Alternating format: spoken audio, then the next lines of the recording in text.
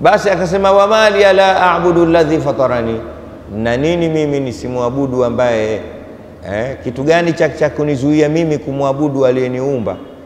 Hamna cha kunizuia, hakuna eh?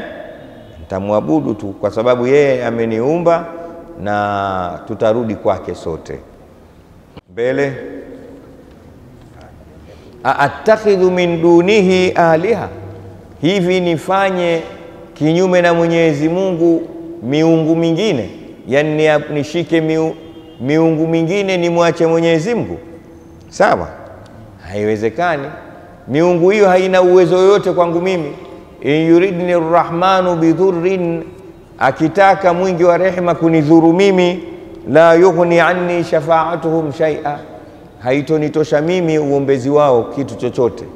Yani mimi namwabudu Mwenyezi Mungu kwa sababu ana uwezo mkubwa, na waacha hawa masanamu na mawe na miti mnayoabudu nyinyi, kwa sababu ikiwa Mwenyezi Mungu ananikusudia kunidhuru, haya masanamu na mawe hayatokuwa na uwezo wa kunisaidia chochote.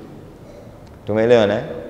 Jana tulikuwa pahala tunazungumzia masala namna watu wa India walivyoendelea sana katika sayansi ya afya ya mwanadamu.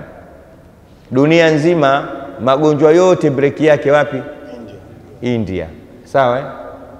Ukiumwa macho ukienda India yanapona, figo ukienda India pona, moyo ukienda India na pona busha mshipa, yani linakuning'inia, ukienda kule unaliacha huko huko, unarudi wewe tu very smart, umechomekea.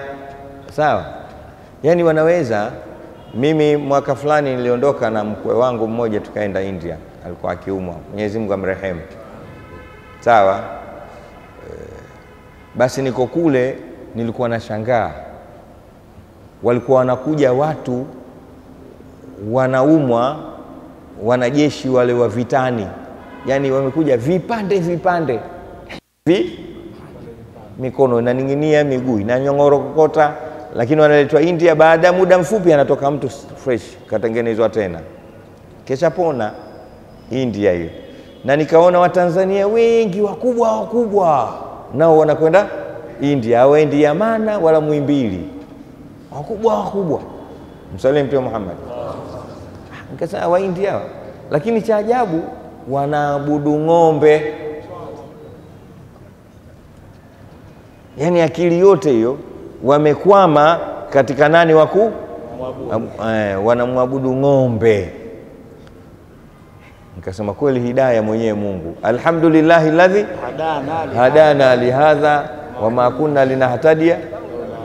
Yani ng'ombe, shekhi, ng'ombe ndo Mungu wao hapo tu hawajapaona. bana bwana, wewe unaingia msikitini ukamwabudu Mwenyezi Mungu wakati wote, sema alhamdulillah. Eh, namwombe sana Mwenyezi Mungu msamaha. Eh, Allahumma anta rabbi la ilaha illa anta. Khalaktani Eh, mbele inasemaje? wa ana abduka. Eh, mbele. Hamjui sayyidul istighfari. We Zakaria, wewe ndio kiboko kuhifadhi hifadhi? Hiyo imekutoka hiyo. Alhamdulillahi ladhi anasemaje? Allahumma anta rabbi la ilaha illa anta khalaqtani wa ana abduka wa ana ala ahdika wa adika mastata'tu abu laka bi ni'matika alayya abu bi faghfirli fa innahu la yaghfiru dhunuba. Hiyo inaitwa sayyidul istighfar. Sayyidul ndio bwana wa kumtaka Mungu msamaha. Tumia maneno hayo, ukimwomba Mwenyezi Mungu msamaha kwa maneno hayo anakusamehe. Sawa. Mursalina ile hujawaandikia na hii iandike, innal hada kana masula, ifanyie kazi, iandike, wagawie watu, ndo sadaka zenyewe hizo, wakahifadhi watumie. Allahumma anta rabbi la ilaha illa anta khalaqtani wa ana abduka wa ana ala ahdika wa adika mastata'tu abu laka bi ni'matika alayya wa eh a'udhu bika min sharri ma sana'tu wa abu laka.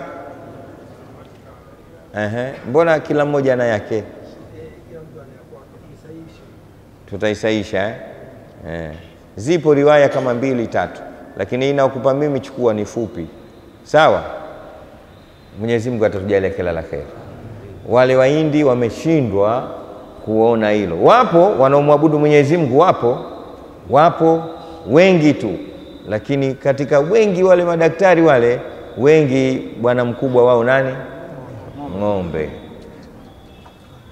Mimi nashangaa mtu anachonga mwenyewe, afadhali anaabudu ng'ombe kidogo. Kuna mwingine anachukua shoka na patasi na panga na msumari na polishi, anakwenda polini, anatafuta mti mgumu unaitwa mninga eh? Anauchonga chonga, alafu akisha anaubandika juu, anaanza kuabudu. Kakichonga mwenyewe kinyago kile, kisha anakiogopa. Tumeona vizuri mm. Mwenyezi Mungu ndo anaongoza.